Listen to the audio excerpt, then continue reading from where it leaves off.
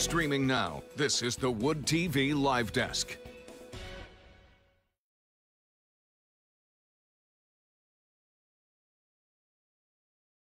News 8 digital anchor Luke Laster here from our mobile live desk at the CEO Summit here downtown Grand Rapids at the Amway Grand. We're grabbing CEOs, executive businesses, business owners all throughout West Michigan to do a little conversation about their role and this summit. Right now, I'm joined with Michael Sytsma. He's with KeyBank. Sir, good afternoon. Good morning to you. Good say. morning.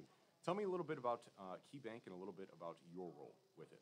Sure. I'm the president of West Michigan, which really is uh, the lower peninsula outside of Detroit, Ann Arbor area. So think of kind of the, the main part of the mitten, just not the southeast. So we're new to Grand Rapids, but the bank has been around for almost 200 years.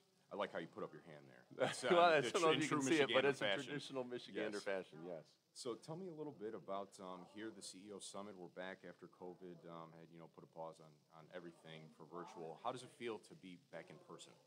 Uh, it's great. It's essential. Yeah. Mm-hmm. I, I think that's how we do our best work when we're together. We're collaborating. I think there's a passion to give back into the community, to build, to do the right things, and it's a lot easier to do it when we see our friends and our uh, centers of influence, and we can do things together. So I think there's been a, an absence, and I think people feel it. Yes. And when you come back into the room, you can kind of sense the same same energy. It's very Yeah. real. We're ready for this, and people want to be together. Absolutely. So tell me a little bit about um, you know talking about banking. Uh, tell me a little bit about what the biggest challenges are right now. Obviously, we are having a very rising inflation, um, economic uh, you know indecision. What are we seeing? What are you seeing? Well, it's an interesting juxtaposition because we're in the, the, the phase where we're growing, we're building, and we're adding to our presence in West Michigan. And at the same time, there's a lot of concern from many companies and individuals what is the effect of inflation? It's, it's real and it's, it's pronounced. Um, so, how do we prepare ourselves for that? What do we need to do if we're a business, and how do we prepare with our clients, our pricing? Everything that we have to do has to have that part in it. But at the same time, there's a lot of demand. So, the economy's going well, there's a lot of opportunity. So, a lot of pre planning. Um, I think the stock market has a lot of people worried because, along with the inflation fears, you can see the effect on the stock market, and that affects people's savings, uh, their confidence levels. So I think on one hand, there's an optimism in West Michigan because we've had a tendency to be successful, find ways to be successful even in down times, but also the reality of having to plan and to get ourselves set to, to get through it. What are some of the biggest questions you're getting? How high are the interest rates going to go? When is it going to happen? Uh, are we going to go into a recession? And more specifically, which is where I think we want to be just as a community, but as bankers, how do we help our friends, our businesses, our clients? And each one has different issues they have to consider if you look at higher interest rates, if you look at a, a, re- uh, a recession, if you look at what happens to the stock market. So taking the time to learn the issues that are specific to those companies and individuals, and then work together to try to build a plan and help them execute it. In terms of stress, you know, people see the high gas prices, the high inflation, you know, just kind of through the roof here. What is one thing that you tell people to kind of just almost calm them down in a sense and be like, okay, hey, we'll get through this. Let's work.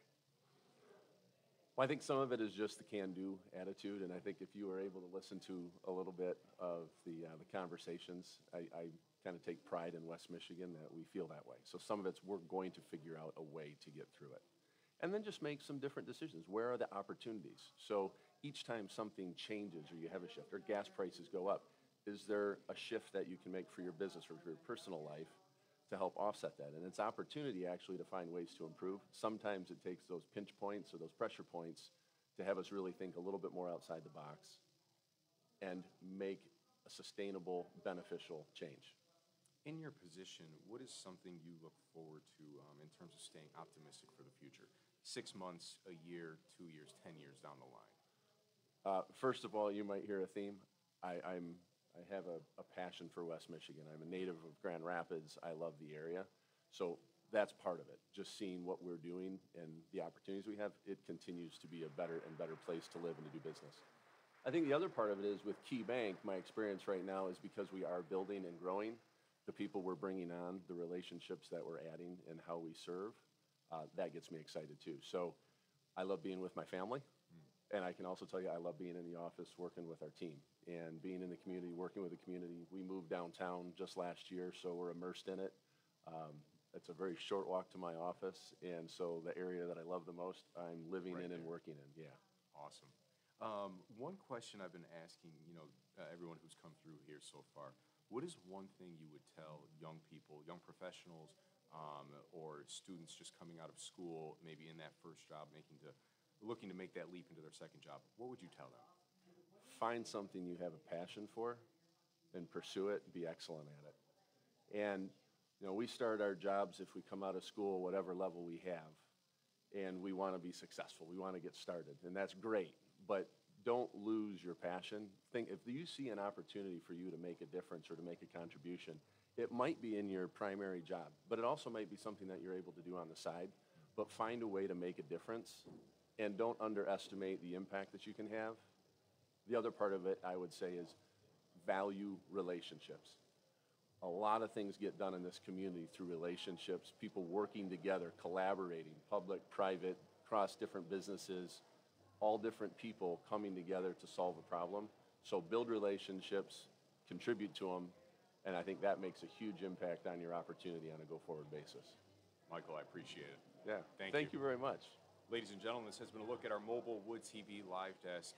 Again, we're here all throughout the afternoon at the CEO Summit in downtown Grand Rapids. Have a great afternoon, and we'll see you around.